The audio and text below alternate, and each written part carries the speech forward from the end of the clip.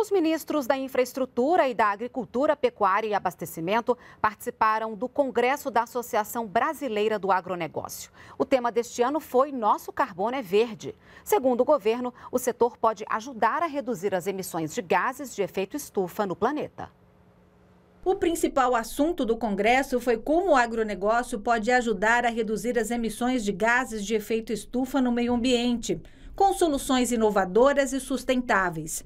Segundo a ministra da Agricultura, Pecuária e Abastecimento, o agro brasileiro tem potencial para se tornar um dos líderes mundiais nesse assunto. Esse ano fizemos um plano safra mais verde, com a ampliação de 101% da linha do programa ABC e o financiamento para restauração florestal, bem como para os sistemas para geração de energia renovável a partir de biogás e biometano. A agropecuária brasileira é solução para os desafios de uma economia sustentável e de baixa emissão de carbono.